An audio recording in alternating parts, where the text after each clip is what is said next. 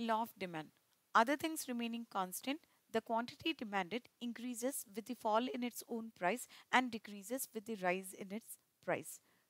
That means there exists an inverse relationship between price and quantity demanded. As we can see from the following graph, the demand curve is a downward sloping curve.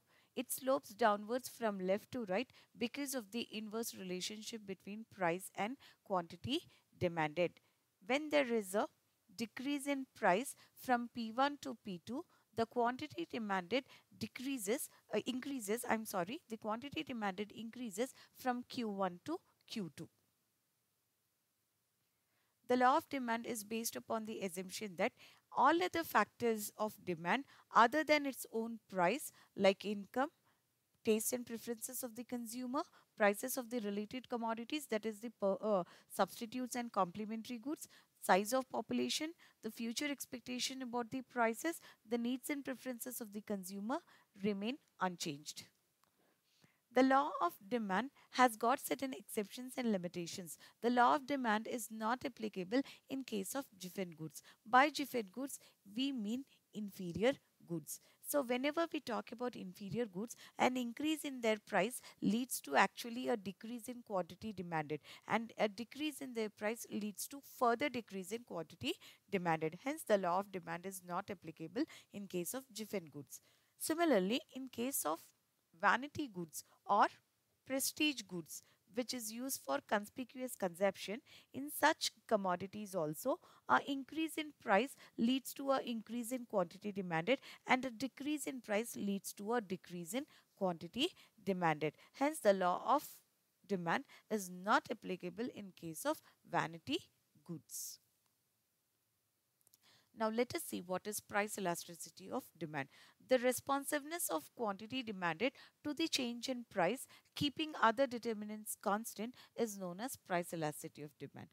Symbolically, price elasticity of demand is equal to delta Q by delta P into P by Q where Q stands for quantity demanded and P stands for price. Now let us see what are the various degrees of price elasticity of demand. The various degrees of price elasticity of demand can be perfectly elastic. Here, ED is equal to infinity. That means the quantity demanded changes with little or no change in price. Now, this is a purely imaginary situation. In real life, we rarely come across such products. Here, the demand curve takes the shape of a horizontal line parallel to the x-axis. The next case is the case of perfectly inelastic demand. Here ED is equal to 0. That means any change in price does not lead to change in quantity demanded. Whether the price increases or decreases, the quantity demanded remains the same. The demand curve here takes the shape of a vertical line parallel to the y-axis we find such kind of elasticity in case of necessities. The third case that we are talking about is a case where ED is equal to 1. That means the change in quantity demanded is exactly in the same proportion as the change in the price. Here, the demand curve takes the shape of a rectangular hyperbola. That means the area underlying it will always be equal. We call this as unitarily elastic.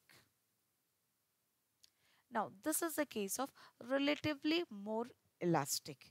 Here, the, a small change in price is leading to a considerable change in quantity demanded.